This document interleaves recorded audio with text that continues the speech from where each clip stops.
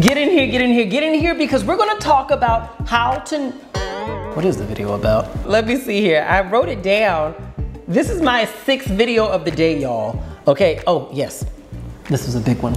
I think my mind went into repressing it because I dealt with this so much. We're gonna talk about how to deal with emotionally unavailable men, all right? I have spent a lot of my adult life in relationships with emotionally unavailable men. Beautiful, wonderful men, and of course, not all of them were emotionally unavailable, but enough of them for this to definitely traumatize and trigger me. So I did a whole lot of work on myself and a whole lot of therapy so I can bring you these lessons right now about how to deal with emotionally unavailable men. Let's start out by saying this right now.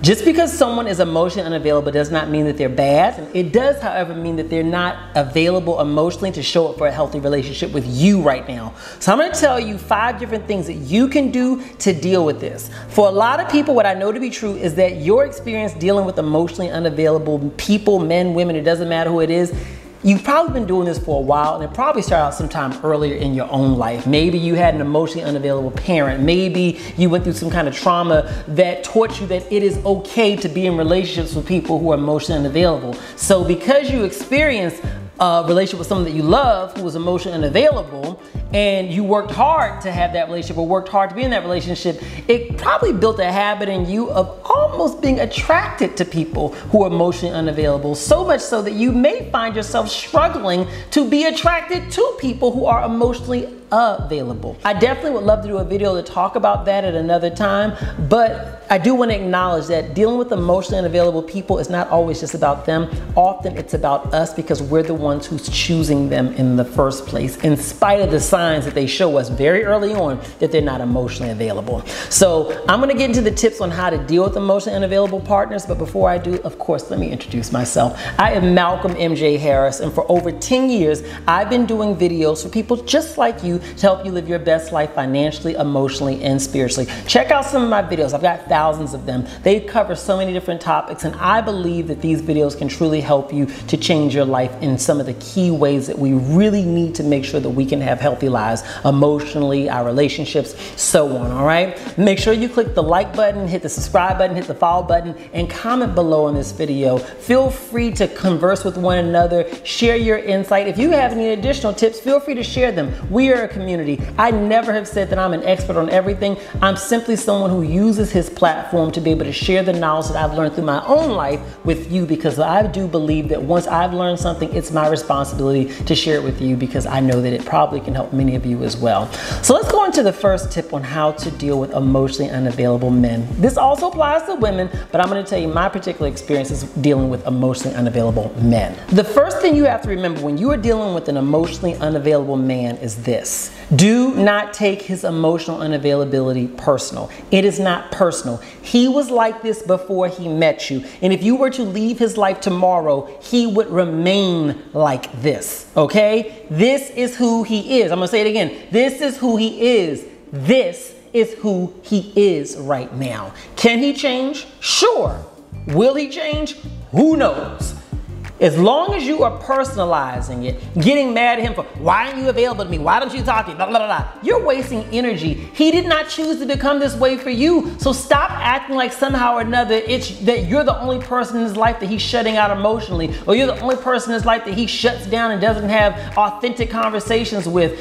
It's not just you. It, it may personally affect you. You may not like it, but he's not doing this for you. He's doing this to everybody. And if you don't know this, then you probably don't know him very well because I'm sure that if you talk to some of the key people in his life, they will tell you, yes, he's been doing this for a while. So when you can learn not to take it personal, it can allow you to have a level of detachment from it so that it doesn't have to hurt you so badly. When you recognize that this person is who they are and then they start doing the stuff that makes them show themselves as emotionally unavailable, like they don't want to talk about serious topics, they shut down when there's a, a topic that they don't want to discuss, whatever it may be that shows that they're emotionally unavailable, you can then observe the issue without having to react to the issue. You can respond to the issue without being so reactive and so abrupt about it. It doesn't have to be something that hurts you. So that's the first thing. Don't take it personal because he was like this before he ever knew you. The next thing, and this is hard, do not try to change him.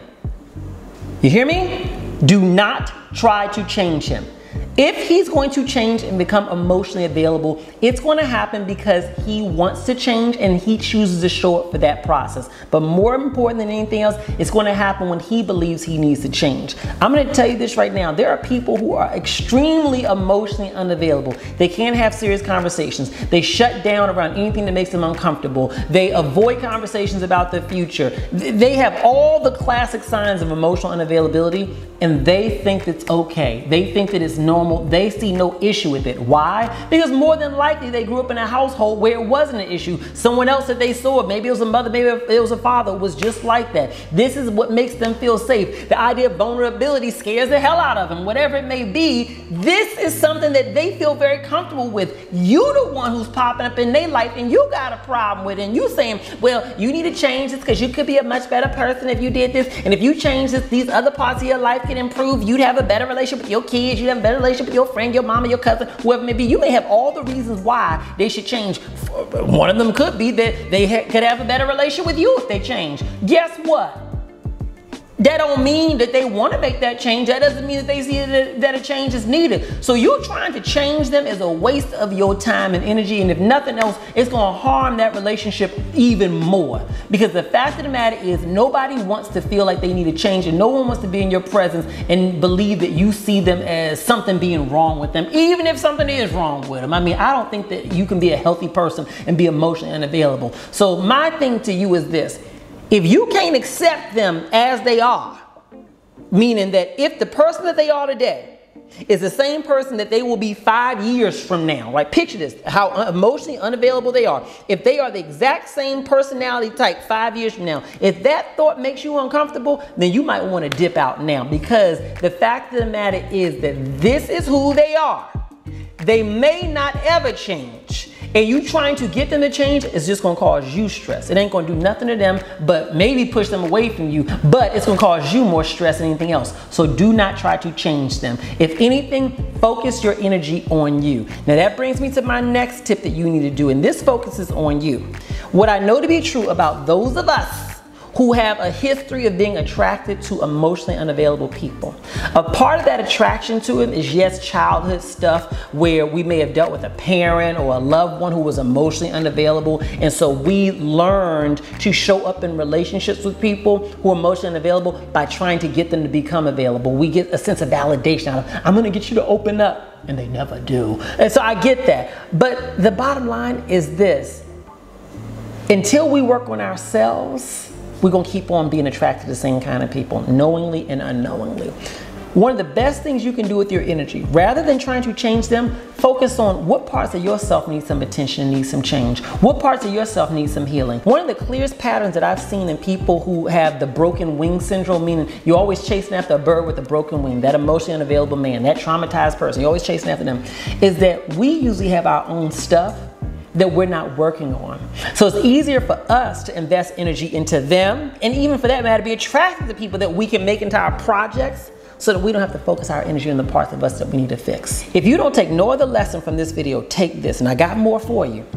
The best thing you can do when you are in a relationship with an emotionally unavailable person is to focus your energy on you. What parts of yourself need fixing? What parts of yourself need healing? What parts of yourself need your attention? Because that same energy you've been putting into them, if you put that into yourself, you will improve so much that it will either inspire that person to step their game up emotionally so they can keep you in their life, or for that matter, it will inspire you to raise your own self esteem and self value so you can detach from that emotionally unavailable person and finally uh, make yourself available to be in relationship with someone who is as emotionally available as you are. The next thing you need to keep in mind when dealing with an emotionally unavailable person is this. Whatever reason why they're emotionally unavailable, call it their excuses, call it whatever you want to call it, whatever the reasons are why they are emotionally unavailable. Although those things may be true, that they went through whatever in their childhood, the ex treated them like this, and maybe it traumatized them, whatever those stories are, they may be true. But that doesn't mean that you need to stay with them or feel bad for them. You need to be focused on yourself. Listen to me when I tell you this. I don't care what they've been through, and I don't mean to sound like I lack compassion, but whatever they've been through, does not mean that they are entitled to treat you any old kind of way. Doesn't mean that you should tolerate being in a relationship with somebody who doesn't open up to you, who doesn't make you feel safe, who makes you feel like your emotions don't matter uh-uh. You deserve healthy relationships if you're willing to be healthy in that relationship. And if they are not willing to show up and do the work on themselves to be able to show up as a healthy person and an emotionally unavailable person is not an emotionally healthy person. So if they're not willing to do the work on themselves to show up as a healthy person then you need to move on and not sit there accepting their excuses as a reason to uh, to justify why they are the way they are or to justify why you should stay there your life matters and your time is valuable. Do not waste it sitting up here accepting and believing in excuses that frankly are just there to justify why they haven't changed yet. If they wanted to change, they would have changed already. The next thing you need to keep in mind is you need to stop being intimate with this person if they are completely emotionally unavailable to you. Now I know this may sound heavy, okay, but listen when I tell you this, okay? And this is more applicable to people who are not yet married to the person. You're not in a very serious relationship with this person. You're kind of just growing in the relationship with them.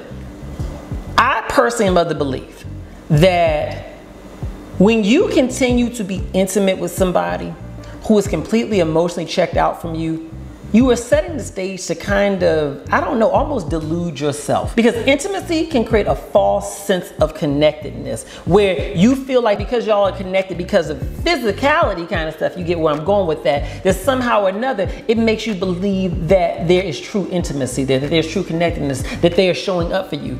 They can look in your eyes, they can whisper sweet nothings in your ear during those moments of passion, but that doesn't mean that they are emotionally available. Emotional availability shows itself through a consistent openness to emotional connection, a consistent uh, willingness to connect during good times and bad times, not just in the bedroom. So my perspective is this, is if this is someone where you know they're not emotionally available to you and you are struggling with how do you detach or how do you create some distance there because you know that this isn't healthy for you, one of the best things you can do is to cut off intimacy because that's going to allow you to start kind of creating that distance that you're going to need so you can truly see the situation as it is rather than seeing it through the lens of what you want it to be. Now, the final tip I'm going to give you on how to deal with an emotionally unavailable person, and as I mentioned before, feel free to comment below with additional tips that you may have because I'm always open to new ideas, and as a community, we should always be sharing with one another. But the final tip I'm going to offer to you is this you need to set clear boundaries. If that person is emotionally unavailable and they are unwilling to have conversations with you and everything like that, do not sit there and wait for them to talk. Well, when are you going to talk to me? When are you going to open up to me? Get up and walk out. If they're not willing to talk, walk out. Do not sit there and tolerate that. If they if their emotional unavailability is that they deny your feelings and I don't know why you feel like that they try to minimize your feelings, disengage from the conversation. You need to have some very clear boundaries around what you're willing to deal with, but more important than that, what you're not willing to deal with. They can be as emotionally unavailable as they want to be. And if you choose to keep being in a relationship with them, God bless you, baby. I, I can't control you. You an adult, I'm assuming. But at the end of the day, you need to have some boundaries for yourself around what you're not going to tolerate and what you're not going to deal with. And what you may find is that once you set some boundaries, people find a way to rise up in a lot of cases if they truly value having you in their life. They will rise up and they will start to make some adjustments. They may not become completely emotionally available, but they will start to kind of show up in some different ways. Or once you set boundaries, you may even start to see the relationship start to have a rift because sometimes boundaries will show you who they truly are. Because once you start saying, I'm not tolerating that, then they say, well, oh well, we just ain't gonna have a connection because they're not gonna do anything to truly get connected with you. But either way it goes, boundaries are your best best friend because they really show you who that person is and they show you what they're willing to do in order to be within your life. If this topic helps you, make sure you like, comment, share, and subscribe. And comment below this video and let me know any other topics you want me to cover. One of the things I always like to share with you all is that the most powerful tool in changing your life are your choices. So make a choice today that can create the kind of tomorrow that you desire and deserve. I love y'all.